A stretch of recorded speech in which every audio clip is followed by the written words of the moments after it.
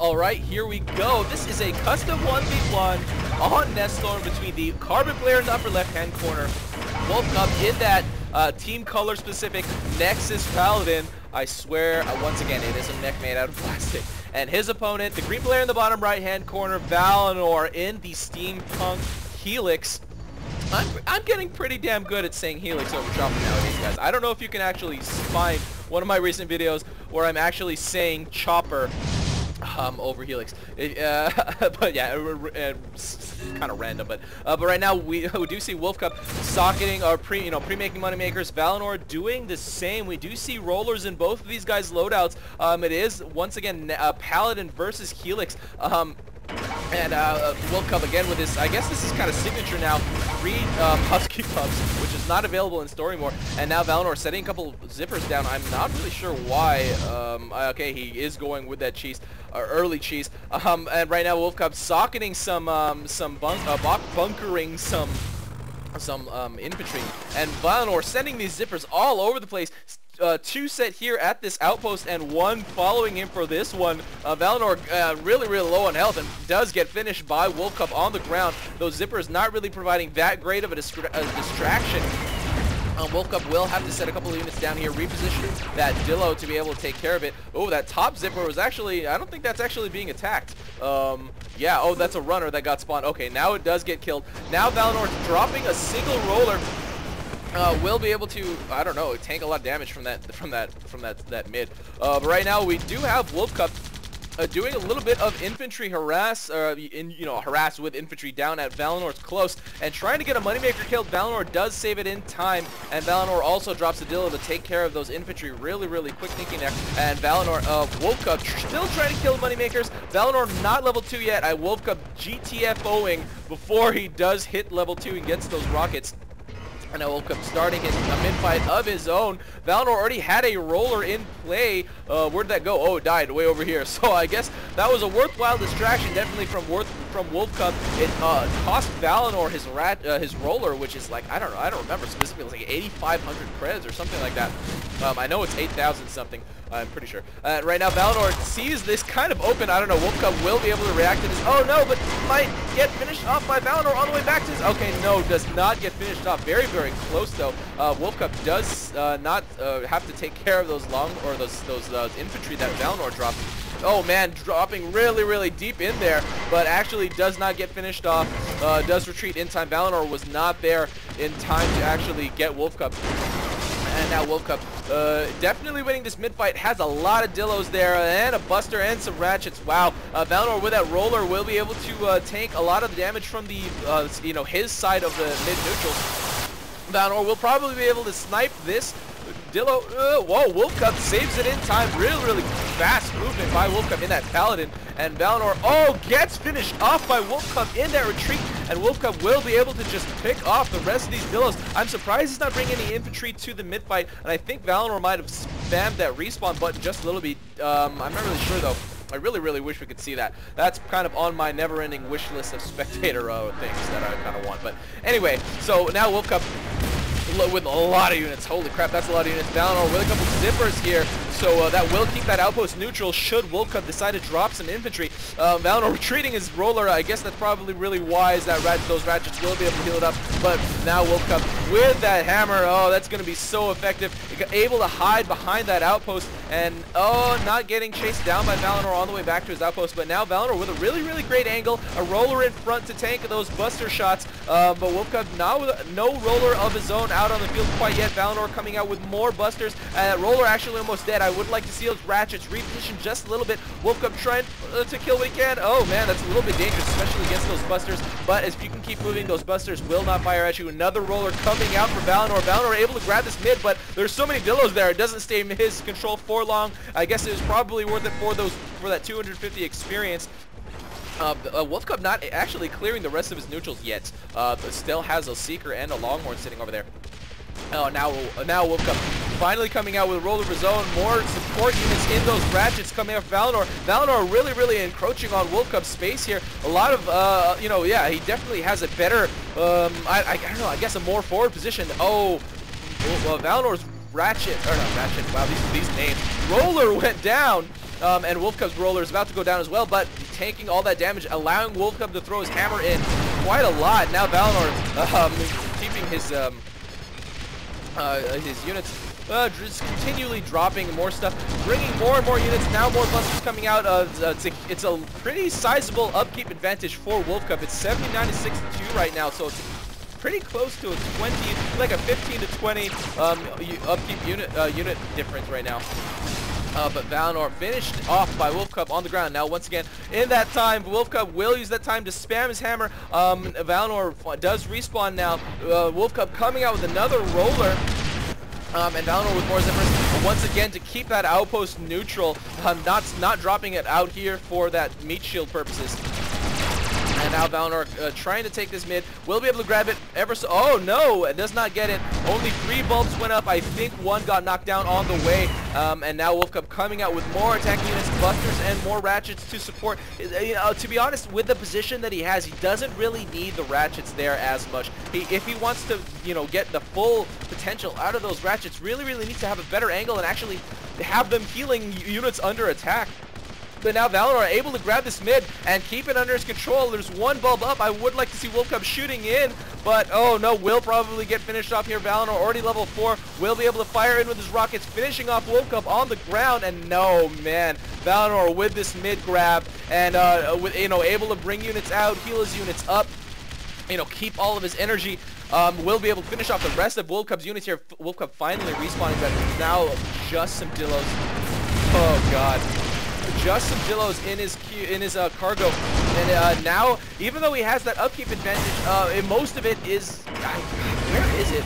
I guess a lot of it is sitting here uh, for the mid fight, but you know Valinor with that outpost in his control is definitely going to win this. Valinor finishing off Wolf Cub once again. Wolf Cub overextending himself, dropping way behind enemy lines there behind uh, Val all of Valinor's units. Now Valinor are going to use this opportunity to neutralize this outpost. Going to be able to snipe this Dillo before Wolf Cub comes back. Wolf Cub does realize what Valinor is doing, brings some creeps to the fight, now drops, oh no, does not drop some Dillos to prevent those uh, zippers from neutralizing. It does come back to this mid-fight, does not stop, but it's just really, really dangerous to do that, especially with Valinor at this mid. Um, I don't know, I, I, think probably should back, pull back in this context, but he's still a little bit ahead in upkeep, and oh, once again gets finished off, just landing a little bit too much. That OP hammer is just, I guess it's really, really worth it to land, you know what I mean? So, uh, but right now, Valinor, uh, just, uh, it, it, he's still behind in upkeep, but with that outpost under his control, can keep,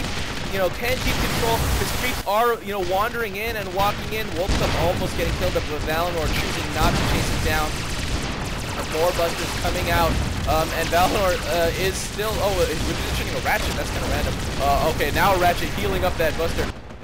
Uh, but now Wolf Cub uh, just trying to micro his Dillos around. Valinor is still behind in upkeep. This is just really, really strange. A lot of just a hardcore micro going down. Valinor killing Wolf Cub once again. Wolf Cub just landing and, and, and, throwing that hammer over and over and over again. Um, Valinor with that, that, you know, that Helix with the air to mech rocket capability. It's just, uh, it's just really, really dangerous to do that. Uh, Will's probably, yeah, almost definitely be going to be able to take out that Dillo. And now, oh, he's probably going to be able to neutralize that outpost. Wolf Cub coming with infantry, going to be able to take this mid away from Valinor, who's, by the way, still behind Husky. Um, oh, this outpost might not get neutralized.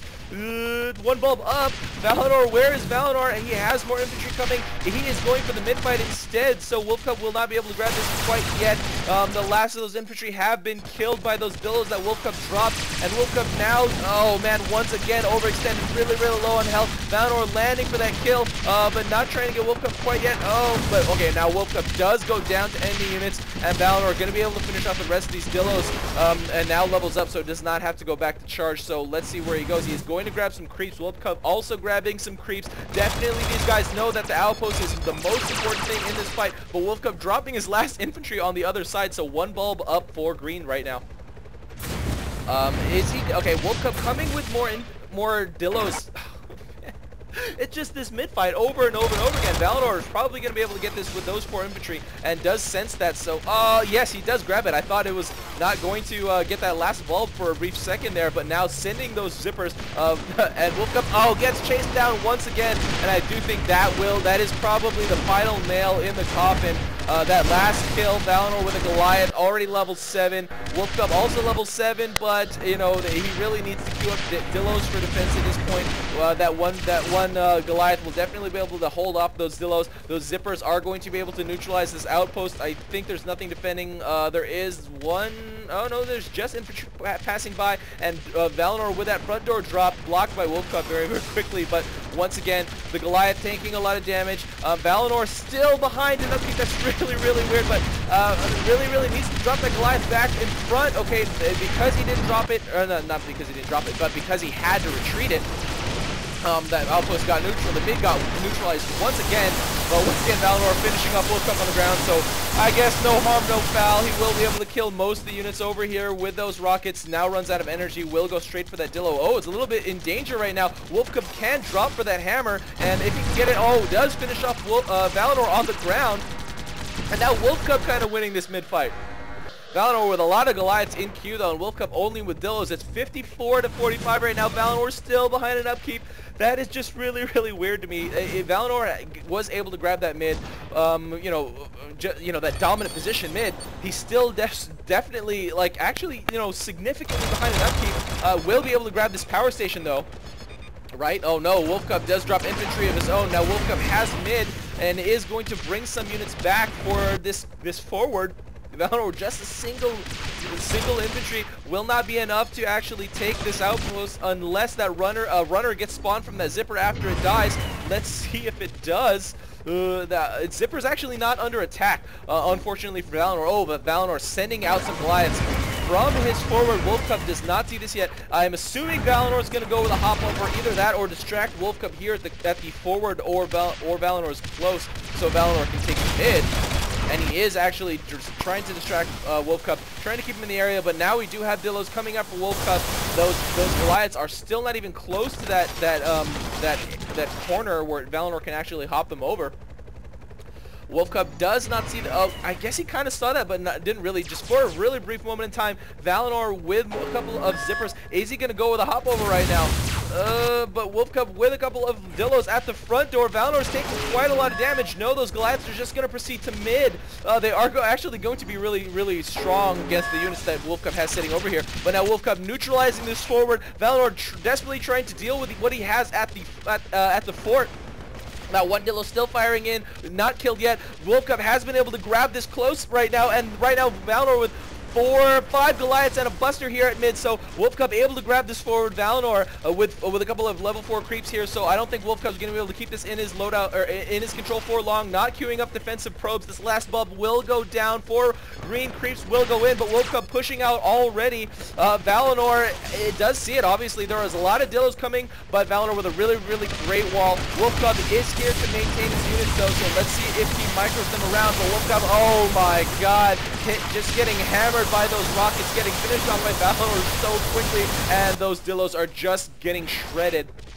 Uh, a couple of random creeps here, but nothing that Valinor can't handle. And Valinor has been able to take this mid. Valinor is definitely ahead of, of Wolf Cub in upkeep right now, and uh, it is 81-45. It's pretty much double. Valinor has pretty much double the upkeep and will be able to grab mid. Wolf Cub is pretty much has no choice but to play defensively at this point. Uh, has nothing, uh, defending is close, so at this point Valinor can actually even drop there right now. Valinor defending his uh, his close, or not, I, misspoke a little bit. Nothing really defending Wolf Cub's forward. Just those two Dillos. Those socket units are already gone. Valinor again pushing out with, with those Goliaths. Pretty much nothing but that Buster defending here at the mid, but Wolf Cub does see that. Now going to try to neutralize this, but I'm pretty sure Wolf Valinor is going to be able to react to this right away.